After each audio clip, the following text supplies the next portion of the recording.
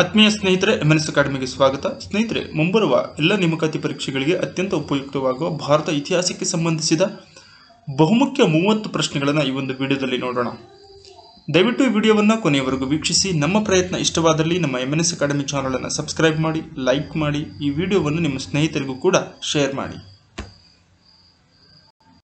ಜೈವಿಕ ಜೀವಿಗಳಲ್ಲಿ ನಡೆಯುವ ರಾಸಾಯನಿಕ ಕ್ರಿಯೆಗಳ ಬಗ್ಗೆ ಅಧ್ಯಯನ ಮಾಡುವ ಶಾಸ್ತ್ರವನ್ನು ಏನೆಂದು ಕರೆಯುವರು?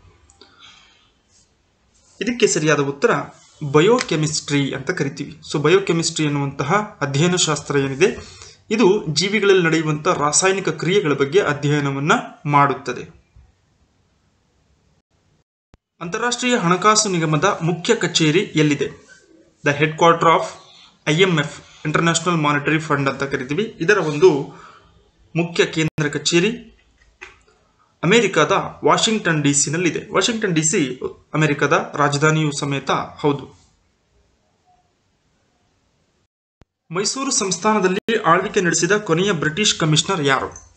ಮಾರ್ಕಬ್ಬನ್ ಜೇಬ್ರಿಕ್ಸ್ ಜೆ ಡಿ ಗೋರ್ಡನ್, ಸ್ಯಾಂಡರ್ಸ್. ಸರಿಯಾದ ಉತ್ತರ, ಜೆ ಡಿ ಗೋರ್ಡನ್.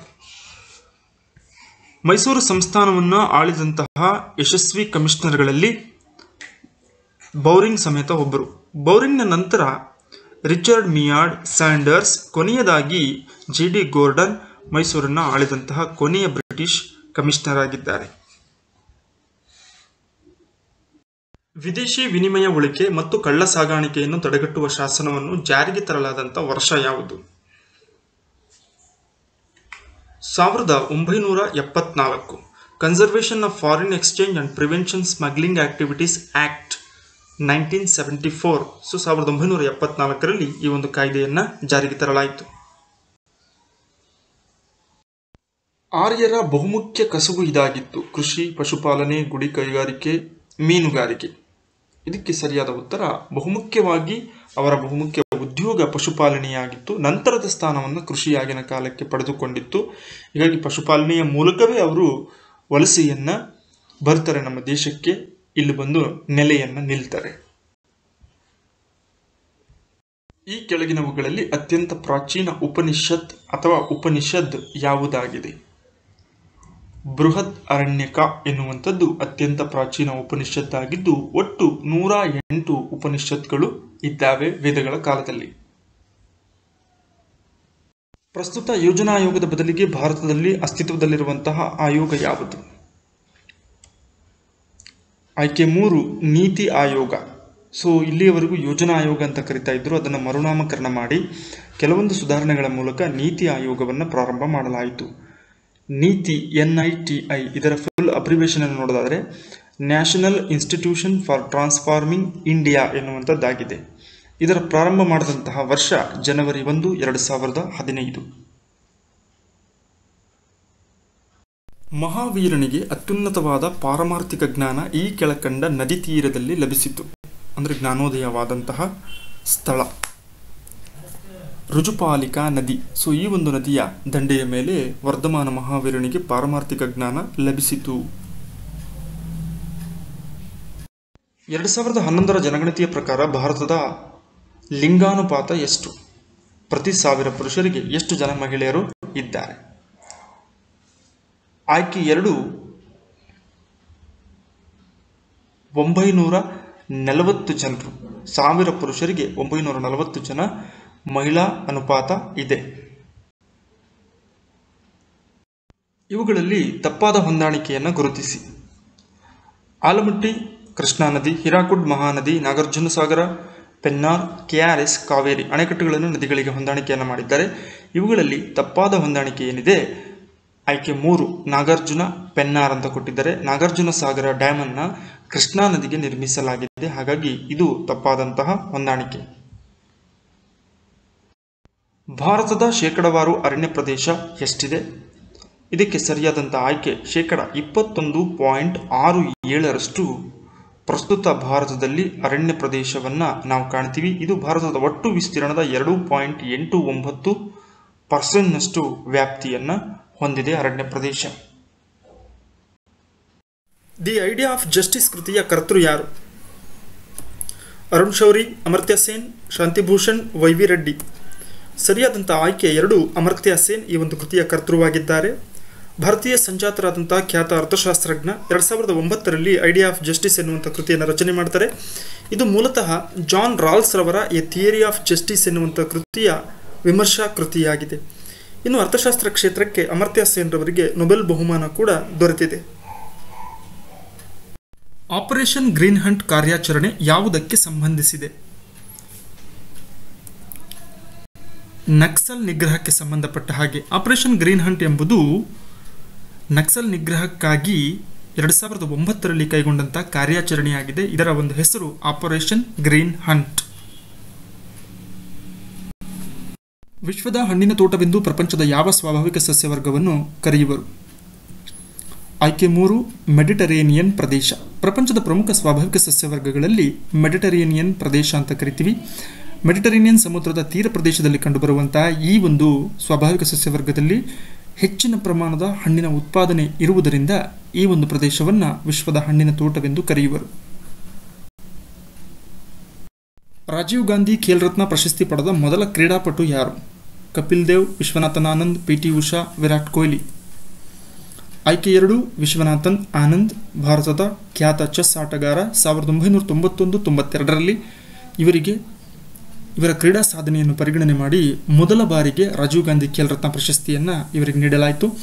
ಎರಡು ಸಾವಿರದ ಹತ್ತೊಂಬತ್ತು ನೋಡೋದಾದರೆ ದೀಪಾ ಮಲ್ಲಿಕ್ ಪ್ಯಾರಾಒಲಿಂಪಿಕ್ಸ್ ಆಟಗಾರ್ತಿ, ಹಾಗೆಯೇ ಬಜರಂಗ್ ಪುನಿಯಾ, ಫ್ರೀಸ್ಟೈಲ್ ಕುಸ್ತಿ ಪಟುಗೆ ಎರಡು ಸಾವಿರದ ಹತ್ತೊಂಬತ್ತರ ರಾಜೀವ್ ಗಾಂಧಿ ಖೇಲ್ ರತ್ನ ಪ್ರಶಸ್ತಿ ದೊರೆತಿದೆ. ಕಲಾ ವಿಮರ್ಶಕ ಪರ್ಸಿ ಬ್ರೌನ್ ಈ ಕೆಳಗಿನ ಯಾವ ಸ್ಥಳವನ್ನು ಭಾರತೀಯ ದೇವಾಲಯಗಳ ತೊಟ್ಟಿಲು ಎಂದು ಕರೆದಿದ್ದಾನೆ. ಐಹೊಳೆಯನ್ನು ಕರೆದಿದ್ದಾನೆ. ಬಾದಾಮಿ ಚಾಲುಕ್ಯರ ಪ್ರಸಿದ್ಧ ಐತಿಹಾಸಿಕ ಕೇಂದ್ರಗಳಲ್ಲಿ ಐಹೊಳೆ ಸಮೇತ ಒಂದು. ಇದನ್ನು ಕಲಾ ವಿಮರ್ಶಕನಾದಂಥ ಪರ್ಸಿ ಬ್ರೌನ್ ಭಾರತೀಯ ಶಿಲ್ಪಕಲೆಯ ತೊಟ್ಟಿಲು ಅಥವಾ ಭಾರತೀಯ ದೇವಾಲಯಗಳ ತೊಟ್ಟಿಲು ಅಂತ ಕರೆದಿದ್ದಾನೆ. ಯಾಕೆಂದರೆ ಇದೊಂದೇ ಪ್ರದೇಶದಲ್ಲಿನೇ ಅನೇಕ ದೇವಾಲಯಗಳನ್ನು ನಾವು ಕಾಣಬಹುದು. ಹೀಗಾಗಿ ಬಾಗಲಕೋಟೆ ಜಿಲ್ಲೆಯ ಬಾದಾಮಿ ತಾಲೂಕಿಗೆ ಸೇರಿದಂಥ ಹೈಹೊಳೆ ಚಾಲುಕ್ಯ ವಾಸ್ತುಶಿಲ್ಪದ ಒಂದು ದೊಡ್ಡ ಕೇಂದ್ರವಾಗಿದೆ. ಬ್ರಿಟಿಷರ ಆರ್ಥಿಕ ಸಾಮ್ರಾಜ್ಯಶಾಹಿ ನೀತಿಯನ್ನು ಮೊದಲು ವಿಶ್ಲೇಷಿಸಿದ ಭಾರತೀಯ ಯಾರು? ದಾದಾಬಾಯಿ ನವರೋಜಿ. ಭಾರತದ ಸಂಪತ್ತಿನ ಸೋರಿಕೆ ಬ್ರಿಟನ್ಗೆ ಹೇಗೆ ಆಗ್ತಾ ಇದೆ ಅನ್ನುವಂಥದ್ದನ್ನು ಮೊದಲಿಗೆ ವಿಶೇಷವಾದಂತಹ ಸಿದ್ಧಾಂತದ ಮೂಲಕ ವಿಶ್ಲೇಷಿಸಿದವರು ದಾದಾಬಾಯಿ ನವರೋಜಿ, ಭಾರತದ ವೃದ್ಧ ಪಿತಾಮಹ ಅಂತ ಕರಿತೀವಿ. ರಾಫ್ತಾ ಗುಪ್ತರ್ ಎನ್ನುವಂಥದ್ದು ಇವರ ಒಂದು ಪತ್ರಿಕೆಯ ಹೆಸರಾಗಿತ್ತು. ಭೂಮಿಯು ಸಮಭಾಜಕ ವೃತ್ತಕ್ಕೆ ಎಷ್ಟು ಡಿಗ್ರಿ ಮತ್ತು ಯಾವ ದಿಕ್ಕಿಗೆ ವಾಲಿದೆ? ಆಯ್ಕೆ ಒಂದು, ಅರವತ್ತಾರು ಡಿಗ್ರಿ ಪೂರ್ವಕ್ಕೆ ವಾಲಿರುವುದು. ಪಕ್ಕದ ಚಿತ್ರದಲ್ಲಿ ಗಮನಿಸಬಹುದು. ಭೂಮಿಯ ಅಕ್ಷದಲ್ಲಿ ವಾಲ್ವಿಕೆಯನ್ನು ನಾವು ಕಾಣ್ತೀವಿ. ಅದು ಅರವತ್ತಾರು ಡಿಗ್ರಿಗೆ ಸಮನಾಗಿದೆ. ಪೂರ್ವ ದಿಕ್ಕಿನ ಕಡೆಗೆ ಅದು ವಾಲಿಕೊಂಡಿದೆ. ಗುಟೆನ್ಬರ್ಗ್ ಸೀಮಾವಲಯ ಯಾವ ಗೋಳದಲ್ಲಿದೆ? ಸೊ, ಭೂಮಿಯ ಅಂತರಾಳದಲ್ಲಿರುವಂತಹ ಮಿಶ್ರಗೋಳದಲ್ಲಿ ನಾವು ಗುಟೆನ್ಬರ್ಗ್ ಸೀಮಾವಲಯವನ್ನು ಕಾಣ್ತೇವೆ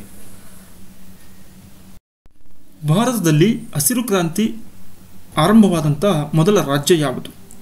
ಇದಕ್ಕೆ ಸರಿಯಾದಂಥ ಉತ್ತರ, ಪಂಜಾಬ್. ಭಾರತದಲ್ಲಿನ ಹಸಿರು ಕ್ರಾಂತಿ ಆಧುನಿಕ ವಿಧಾನಗಳು ಮತ್ತು ತಂತ್ರಜ್ಞಾನ ಅಳವಡಿಕೆಯಿಂದಾಗಿ ಕೃಷಿಯಲ್ಲಿ ಹೆಚ್ಚಿನ ಇಳುವರಿ ನೀಡುವ ವೈವಿಧ್ಯಮಯವಾದಂತಹ ಯೋಜನೆಯಾಗಿತ್ತು. ಇದನ್ನು ಎಂ ಎಸ್ ಸ್ವಾಮಿನಾಥನ್ ಎನ್ನುವಂತಹ ವಿಜ್ಞಾನಿ ಭಾರತದಲ್ಲಿ ಹಸಿರು ಕ್ರಾಂತಿಯ ಪಿತಾಮಹ ಅಂತ ಕರಿತೀವಿ. ಕೃಷಿ ಉತ್ಪಾದಕತೆಯನ್ನು ಹೆಚ್ಚಿಸೋದಕ್ಕೆ ಕೃಷಿಯಲ್ಲಿ ಸಂಶೋಧನೆ ಮತ್ತು ತಂತ್ರಜ್ಞಾನವನ್ನು ಬಳಕೆ ಮಾಡಲಾಯಿತು. ಇದನ್ನು ಆರಂಭ ಮಾಡಿದಂತಹ ಮೊಟ್ಟ ಮೊದಲ ರಾಜ್ಯ ಪಂಜಾಬ್. ಸ್ನೇಹಿತರೆ, ಕೊನೆಯ ಪ್ರಶ್ನೆ ರಿಕೆಟ್ಸ್ ಎಂಬುದು ಯಾವ ವಿಧದ ಒಂದು ರೋಗ?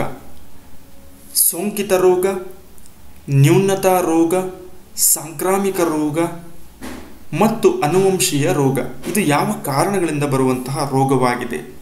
ಸರಿಯಾದಂತಹ ಉತ್ತರ, ಇದು ನ್ಯೂನ್ಯತಾ ರೋಗವಾಗಿದೆ. ಅಪೌಷ್ಟಿಕತೆಯ ಕಾರಣದಿಂದ ವ್ಯಕ್ತಿಯಲ್ಲಿ ಮೂಳೆಗಳಿಗೆ ಸಂಬಂಧಪಟ್ಟಂತಹ ನ್ಯೂನ್ಯತೆಯನ್ನು ಉಂಟು ಮಾಡುವಂತಹ ರೋಗವಾಗಿದೆ ರಿಕೇಟ್ಸ್ ಎಂಬ ಕಾಯಿಲೆ. ಹಾಗಾಗಿ ಇದು ಸೋಂಕಿತ ರೋಗವಲ್ಲ, ಸಾಂಕ್ರಾಮಿಕ ರೋಗವೂ ಅಲ್ಲ, ಅನುವಂಶೀಯ ರೋಗವೂ ಅಲ್ಲ. ಅಪೌಷ್ಟಿಕತೆಯ ಕಾರಣದಿಂದ ಬರುವಂತಹ ಒಂದು ಕಾಯಿಲೆಯಾಗಿದೆ ರಿಕೇಟ್ಸ್. ರಿಸರ್ವ್ ಬ್ಯಾಂಕ್ ಆಫ್ ಇಂಡಿಯಾವನ್ನು ಯಾವ ಆಯೋಗದ ಶಿಫಾರಸ್ಸಿನಂತೆ ರಚಿಸಲಾಗಿದೆ? ಹಿಲ್ಟನ್ ಯಂಗ್ ಆಯೋಗ ಅಂತ ಕರಿತೀವಿ. ಸಾವಿರದ ಒಂಬೈನೂರ ಮೂವತ್ತ್ನಾಲ್ಕರಲ್ಲಿ ಈ ಒಂದು ಆಯೋಗ ನೀಡಿದಂತಹ ಶಿಫಾರಸ್ಸಿನ ಅನ್ವಯ ಏಪ್ರಿಲ್ ಒಂದು ಸಾವಿರದ ಒಂಬೈನೂರ ಮೂವತ್ತೈದರಲ್ಲಿ ರಿಸರ್ವ್ ಬ್ಯಾಂಕ್ ಆಫ್ ಇಂಡಿಯಾ ಸ್ಥಾಪನೆಯಾಯಿತು. ಲೋಕಸಭಾ ಸದಸ್ಯರ ಅನರ್ಹತೆಯ ಬಗ್ಗೆ ವಿವರಿಸುವಂಥ ಸಂವಿಧಾನದ ವಿಧಿ ಯಾವುದು? ತೊಂಬತ್ನಾಲ್ಕು, ತೊಂಬತ್ತಾರು, ನೂರ ಐದು ಮತ್ತು ನೂರ ಎರಡು. ಸರಿಯಾದಂಥ ಆಯ್ಕೆ ನೂರ ಎರಡನೇ ವಿಧಿ ಸಂಸತ್ ಸದಸ್ಯರ ಸದಸ್ಯತ್ವದ ಅನರ್ಹತೆಯ ಬಗ್ಗೆ ತಿಳಿಸುತ್ತದೆ. ಭಾರತದಲ್ಲಿ ಅತಿ ಹೆಚ್ಚು ಲೋಕಸಭಾ ಸದಸ್ಯರನ್ನು ಆಯ್ಕೆ ಮಾಡುವ ಎರಡನೇ ರಾಜ್ಯ ಯಾವುದು? ಮೊದಲನೇ ನಮಗೆಲ್ಲ ಗೊತ್ತಿದೆ, ಯು ಪಿ, ಉತ್ತರ ಪ್ರದೇಶ್. ಎಂಬತ್ತು ಸದಸ್ಯರನ್ನು ಆಯ್ಕೆ ಮಾಡಿದರೆ ಎರಡನೇ ಸ್ಥಾನ ಮಹಾರಾಷ್ಟ್ರದ್ದು. ಹತ್ತೊಂಬತ್ತು ರಾಜ್ಯಸಭಾ ಮತ್ತು ನಲವತ್ತೆಂಟು ಲೋಕಸಭಾ ಸದಸ್ಯರನ್ನು ಆಯ್ಕೆ ಮಾಡುತ್ತೆ ಈ ಒಂದು ರಾಜ್ಯ. ಭಾರತದ ಸಂವಿಧಾನದ ಎಷ್ಟನೇ ತಿದ್ದುಪಡಿಯಿಂದ ಹೊಸ ಪಂಚಾಯತ್ ರಾಜ್ ವ್ಯವಸ್ಥೆ ಭಾರತದಲ್ಲಿ ಜಾರಿಗೆ ಬಂದಿತು? ಆಯ್ಕೆ ನಾಲ್ಕು ಎಪ್ಪತ್ತ್ಮೂರನೆಯ ತಿದ್ದುಪಡಿ. ಸಾವಿರದ ಒಂಬೈನೂರ ತೊಂಬತ್ತೆರಡರಲ್ಲಿ ಈ ಒಂದು ತಿದ್ದುಪಡಿಯನ್ನು ಮಾಡಲಾಯಿತು. ಅದರಂತೆ ಸಾವಿರದ ಒಂಬೈನೂರ ತೊಂಬತ್ತ್ಮೂರರಲ್ಲಿ ಪಂಚಾಯತ್ ರಾಜ್ ವ್ಯವಸ್ಥೆ ಮೂರು ಹಂತಗಳಲ್ಲಿ ಭಾರತದಲ್ಲಿ ಜಾರಿಗೆ ಬರುತ್ತೆ. ಅದೇ ಜಿಲ್ಲಾ ಪಂಚಾಯಿತಿ, ತಾಲೂಕು ಪಂಚಾಯಿತಿ ಮತ್ತು ಗ್ರಾಮ ಪಂಚಾಯಿತಿ.